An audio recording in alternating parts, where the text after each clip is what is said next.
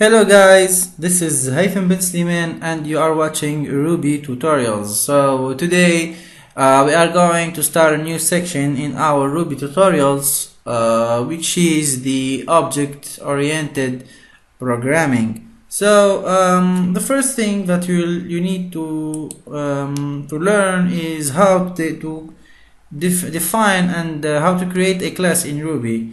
It's very easy. All you need to do is to write the keyword class, then it must be followed by the name of your class. So you can call it customer, products, whatever you like. So in my case, I'm just gonna call it product, and the name of your class must begin with an uppercase. So after that, you need to uh, to add the end keyword to uh, close the definition to end the definition of your class. So this is how we define a class in Ruby. So class definition. Now uh, every class uh, can have uh, variables can have uh, methods. So now I'm just gonna show you how to declare a method for inside your class. So uh, def I'm gonna just call, call it say say hello. So this is the class uh, the class method of my uh, class product my product my class product that uh, we have created. So now inside this uh, method. I'm going to I'm going to print to print a little message. Hello world. And that's all. So now this is uh, our class definition. And now we must get out of the class definition because we are going to instantiate our class. So to do that first thing you need to do is to um, to create a, a, variable that will contain the object of your class. Uh, so um, I'm gonna call it prod product one. And to instantiate your class all you need to do is to write the name of your class dot new. And then and this is how we instantiate our class in Ruby. So I will add the comment here class instan instantiation. I think um, correct me if I'm wrong. This is I think this is correct. Okay whatever. So this is how we instantiate our class in Ruby.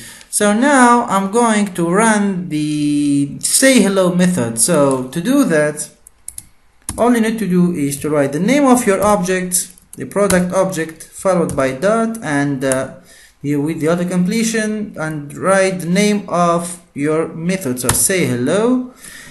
Save my file. And now I'm going to run this file here. And uh, as you can see here um, it prints the message that was uh, written in the definition of our um, say hello uh, method inside our class product. So now, uh, for those who have already who already have done some uh, object-oriented programming in other languages such as Java or C Sharp or whatever, uh, every class have must have variables or attributes. So now I'm going to show you how to um, access how to use the getters and setters uh, inside a Ruby class. So to do that, so let me get rid of this method here.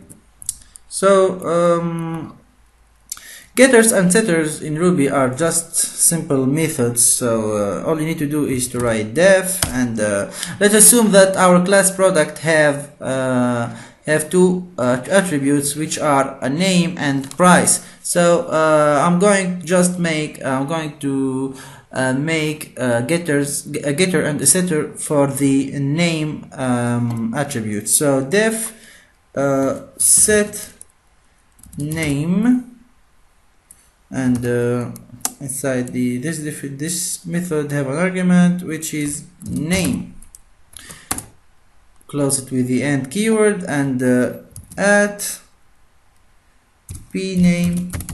So um, I'm, go I'm, going to exp uh, explain this in a while so you don't need to worry.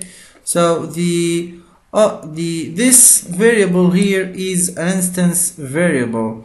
All instance variable in Ruby begins with the at symbol. So I think it's very clear. All instance variable in Ruby must begin with the at symbol. So now after finishing our setter method we are going to uh, define our uh, getter method. So def get name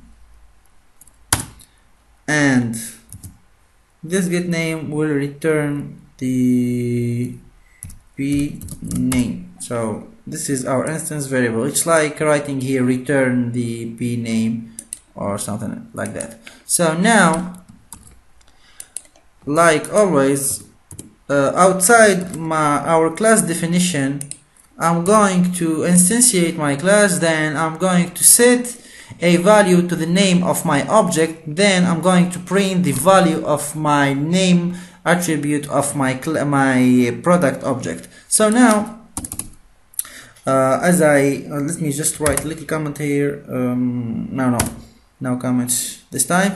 So um, this is the how we instantiate a class in Ruby. So product 2 the name of my my class that followed by the keyword new. Then I want to set a name for my, my, my for this object for this product object. So to do that we need to use the uh, object name dot set name. And this uh, set name method will have an argument which is the name of my product so I'm gonna call it um, Samsung Galaxy S6 and this is uh, how we use the setter method to set the name of our object. So now uh, I'm going to retrieve the name of my object using the get I'm going to retrieve the name of my object using the get name method which is the getter. So to do that uh, all I need to do is to to uh, first of all I'm going to to create a variable that will contain the name of uh, the the value of the attribute name. So um, uh, my uh, prod name so we'll get product to dot get name. So this variable prod name will uh, get the value of the very instance variable of this object here. So um, after this line I'm going to print uh, a little message with the value of the name of our object. So the, the name of our object is interpolation and uh, prod name. And now let let me test this piece of code. So control S to save and let's see the results. So as you can see here the name of our object is Samsung Galaxy S6 so uh, let me summarize that uh, all that we have done till now. I showed you how to create a class in Ruby. Uh, I showed you how to create the getters and setters methods and uh, how to use them. Uh, I've showed you to how to instantiate a class in Ruby and I showed you how to use the getter and setter method to set the name, uh, to set the value to a, an attribute of a class and how to get this value using the getter uh, method. So now let me see uh, what can I add? What can I add to this tutorial today? Uh, okay. So now let's assume that I want to uh, set the name the the value of my uh, my the variable the value of this of this attribute attributes of my products here after after the uh, the new keyword. To do that so first of all let me get rid of this code here. And now let's assume that we have um, two variables name and price. So I'm just gonna copy and paste this code here. Just little space. Uh, I want to get rid so okay so I'm gonna just copy and paste. So set name I'm gonna gonna call it set price. Here will be price.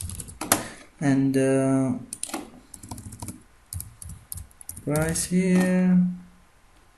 So control C control V. Get get price and uh, p dot price.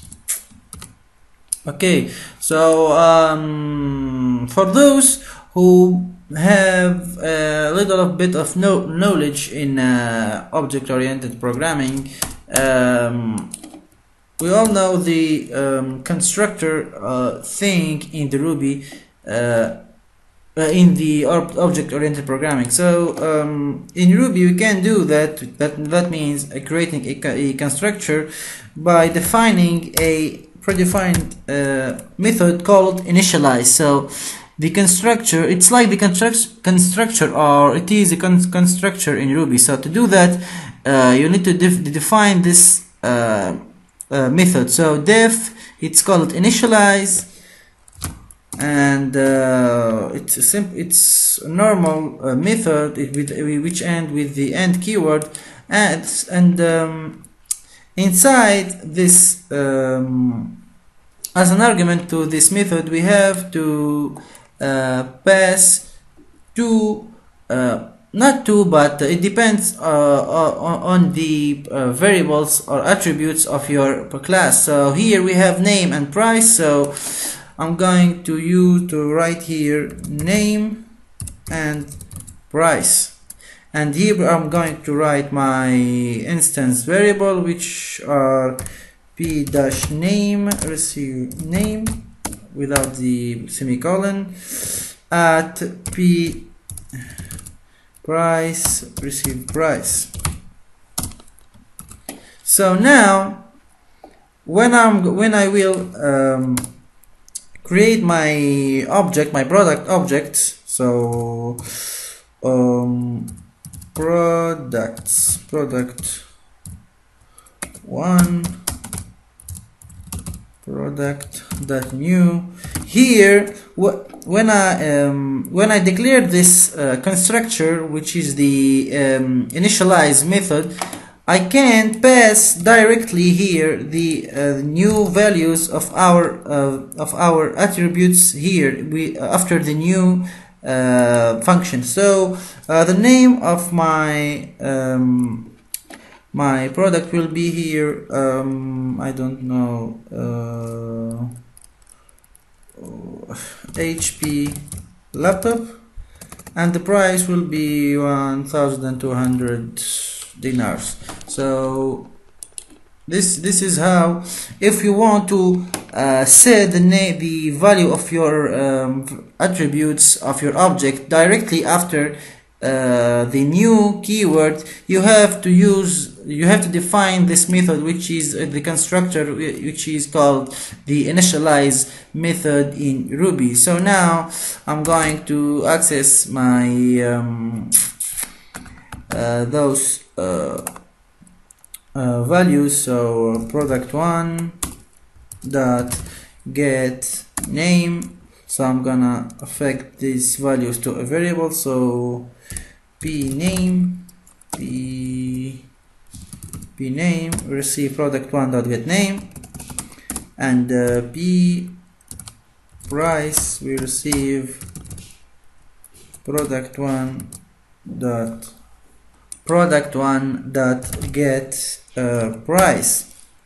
So after that I'm going to print a little message. So put uh, the name of the product is so interpolation and uh, p name. And uh, it costs uh, interpol two point interpol uh, sorry interpolation p price so now I'm going to uh, run this chunk of code and let's see the result so as you can see here the name of the product is HP laptop and it costs uh, 1200 dinars. So um, I think uh, this video is about 15 minutes so I'm just gonna not gonna make it longer than that and um, maybe we will uh, continue the um, the OOP programming in the next videos. Uh, I hope you have learned something from this video and um, see you in the next lesson. Bye bye.